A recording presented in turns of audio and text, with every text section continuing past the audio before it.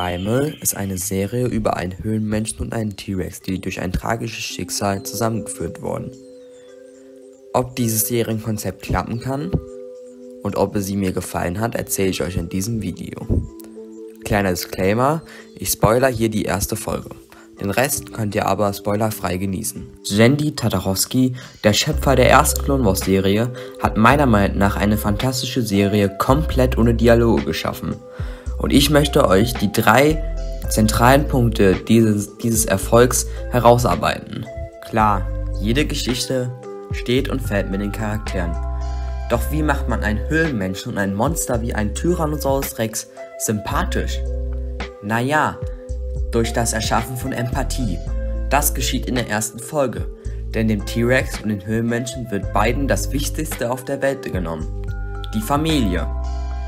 Das macht unsere Charaktere mensch menschlich.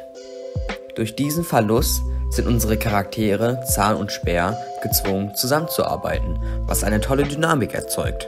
Außerdem lässt die Serie unsere Charakter durch und durch menschlich handeln, denn sie handeln nicht aus reiner Heldenmut wie zum Beispiel ein Superman, sondern aus Angst, Wut und Trauer und auch mal den Drang zu überleben. Es gibt Folgen, in denen, in denen Zahn oder Speer schlimme Dinge tun, aber nur um zu überleben. Das macht sie menschlich, denn sie haben Fehler und Ecken und Kanten.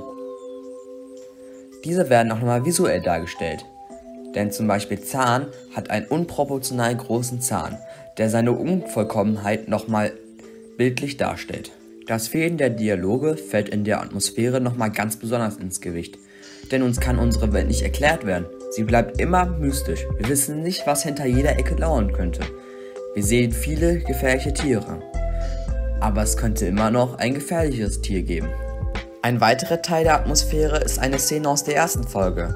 Denn in den ersten Minuten wird unser Hauptcharakter von einem riesigen Krokodil angegriffen, was ein Dinosaurus sein könnte. Das unterstreicht nochmal die Gefährlichkeit dieser Welt. Die Musik ist mindestens genauso wichtiger Teil wie die Animation und die Zeichnungen. Und sie ist schlichtweg großartig, mit vielen schweren Klängen, die den Charakter der Dinosaurier nochmal unterstreichen. Auch hat sie eine großartige Dynamik und ist in den Action-Szenen besonders gut. Auch die Tonarbeit ist großartig, mit vielen Klängen aus der Natur, die uns mehr in diese Welt reinziehen. Die Action es wird brutal und kompromisslos inszeniert. Sie wird auch mit wenigen Schnitten inszeniert, was mir sehr gefällt. Die Kamerafahrt ist äußerst dynamisch und die Action, die Action-Szenen sind auch sehr kreativ. Die Set-Pieces sind auch oft fantastisch. Außerdem gibt es noch viele kleine Dinge, die die, die die Serie zu einer tollen machen, wie zum Beispiel die Dinosaurier-Designs. Meine Favoriten sind da das des Neopleurodons, einer Plattenechse, die bis zu 6 Meter lang wurde, und das des Kasmosaurus, welcher ein, welcher ein Dinosaurier aus der Familie der Ceratopsia war und somit verwandt mit dem berühmten Triceratops war. Auch das Design des Tyrannosaurus ist großartig. Außerdem hat, dies, hat die Serie eine sehr gefühlvoll inszenierte Story und auch einige hochphilosophische Ansätze. So wird zum Beispiel auch uns in einigen Folgen das Prinzip von Trauer nähergebracht und das Prinzip von Freundschaft.